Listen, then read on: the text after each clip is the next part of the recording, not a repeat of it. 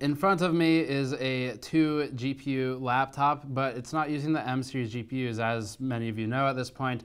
NVIDIA and AMD have both moved away from this idea of M suffixed GPUs for notebooks. And that's shown here. This is a pretty insane one. The whole point of this video is just to talk about how it works, primarily, and I'll get to this in a moment, that the unit has two of these power bricks. Two and they both plug into a single adapter, which you can see here. So brick one, brick two plug into an adapter, and then that plugs into the laptop. So I'm to talk about why it's done that way as opposed to a single brick. But as for what this thing is, this is a CyberPower Fangbook for Extreme. It's got two GTX 1080s in it, and it has an Intel K-spec CPU. We previously talked about this CPU and overclocked it even, but uh, today we're focusing on the GPU part of the, the laptop, which is the fact that it's got two of them. The main thing here, first of all, uh, this is sort of like the Titan MSI notebooks that you've seen in the past. It has a mechanical keyboard. I think it has red switches. It might have brown though. But it's got a mechanical keyboard with brown or red switches. Uh, there's a very small battery. I'm going to try and lift this up and show you.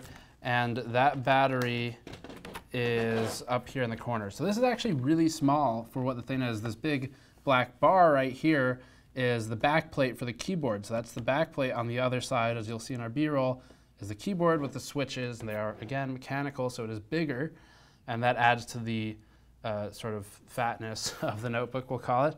Uh, but this battery is small, and the reason it's small is because why would you have a big one when there are, effectively, there's 700 watts of components in front of me in GPUs, CPU, RAM, all this stuff. It even supports two NVMe SSDs. Uh, there are three total M2 slots. One is SATA to our NVMe, and uh, two 1080s or two 1070s if you get the cheaper SKU.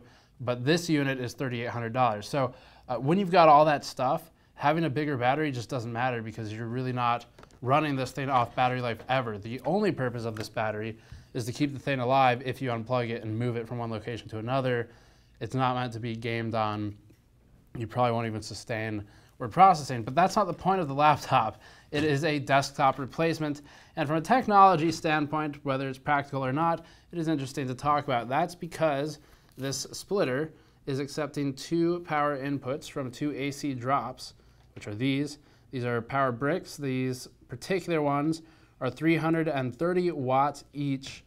So you've got uh, cumulatively 660 watts here in power bricks in front of me, but 330 watts each individually, and then those connect here. If you have the unit that's got two 1070s instead of two 1080s, which this has, uh, then these would actually be 230 watts, so 100 watts less per brick with the two 1070 setup, but still two bricks.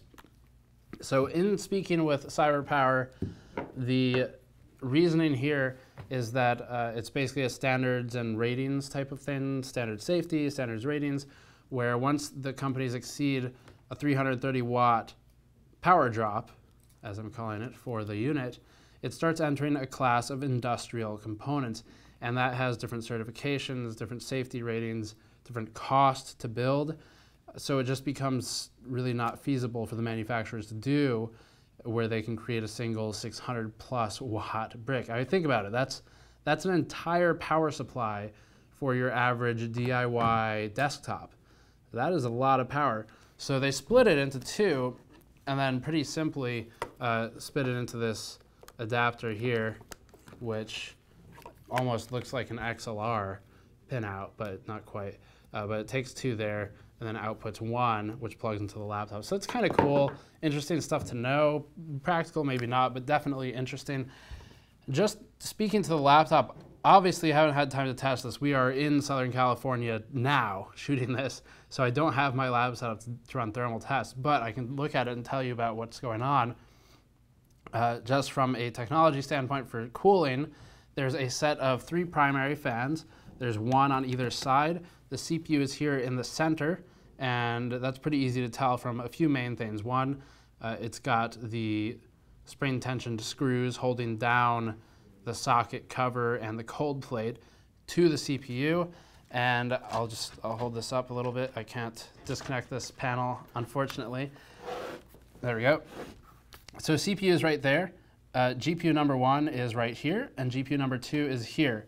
And the other way to tell that is because you can actually see the PCIe slot here and here, and this PCIe slot, if you are not familiar with laptops, is because these are MXM boards for the GPUs.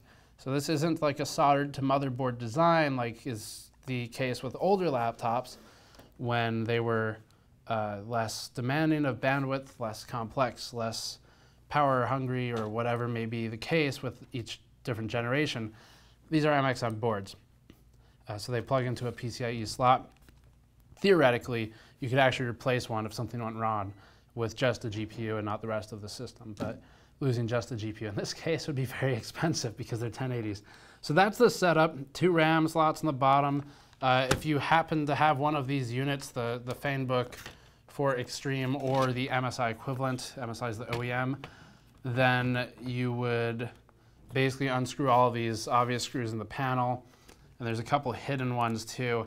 And those hidden ones are on the other side. So if we flip this over, which I'm not going to do, uh, there are two rubber bumpers that sit between the top of the chassis where the keyboard is and the screen when it closes. You peel those off. There's two more screws in there.